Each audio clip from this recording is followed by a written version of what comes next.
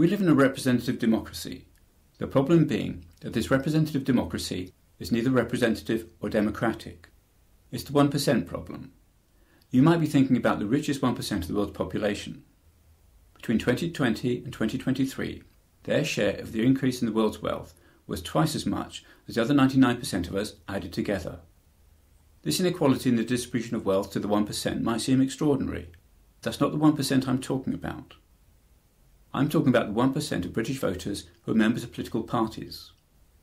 These are the people who gave the rest of us a choice between Boris Johnson and Jeremy Corbyn for Prime Minister at the 2019 election. This 1% are the people who decide who can stand as candidates to become MPs. We might be able to choose between the parties, but we don't get to choose who can stand for election. That's decided by party members, something that 99% of us have decided not to be. We know this, but we can't do anything about it because we're not a free people. We are subjects. The subjects not of a king or queen, but the subjects of an unrepresentative parliament. Those who claim to represent us in our various parliaments make the rules for us and they make the rules for themselves. A free people, I'll refer to them as citizens in this video, as we don't seem to have a word for a free person. A free people would be part of the decision making process. They would be able, with their fellow citizens, to decide what laws we have and what laws we don't have. There is only one country in the world whose people are free Switzerland, and it's their unique ability to initiate referendums to both create laws that they want and stop laws that they don't want that mean they are citizens rather than subjects. It seems that this freedom leads to a couple of interesting outcomes unique to Switzerland. The first one is Article 6 of the Swiss Constitution.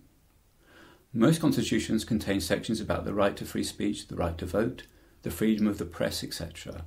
But before the list of rights in the Swiss constitution, there is Article 6. Article 6 states that all individuals shall take responsibility for themselves and shall, according to their abilities, contribute to achieving the tasks of the state and society. That's so important, I'm going to repeat it. All individuals shall take responsibility for themselves and shall, according to their abilities, contribute to achieving the tasks of the state and society. That's the law, but it's more than that. It's their law. A law they choose to keep. If they didn't want it, they could get rid of it. That's what makes it their law rather than the law. Does the acceptance of this responsibility and the actions that flow from this contribute to the happiness, wealth, and health of both the individual and the country? Many would think so. Perhaps that's something the think tanks could look into. The other unique aspect of Swiss life is the absence of an honours system. I'm talking about things like peerages, knighthoods, MBEs, and OBEs. Is that because they have Article 6, a responsibility to contribute to the success of their society according to their ability? If you're Swiss and you contribute to the health, wealth, and happiness of your country, you're not doing something that deserves honours.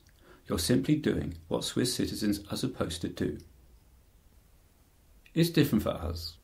When a parliament is the sovereign power in a country, the country is the politician's responsibility. It has to be.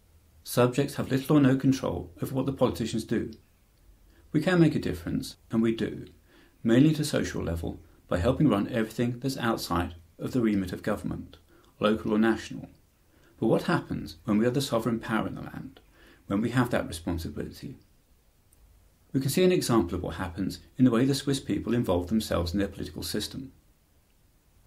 In Britain, we have that 1% who join the parties, too small a percentage to make sure that the political system works for the people of Britain rather than the parties and those who fund them.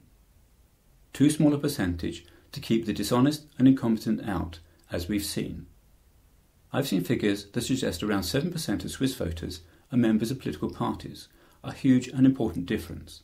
It's the difference between a free people who work to create a successful society in their country, Switzerland, and a disillusioned and detached public, the subjects of our parliaments and the politicians in them, that we see here in Britain, a country that is not our country.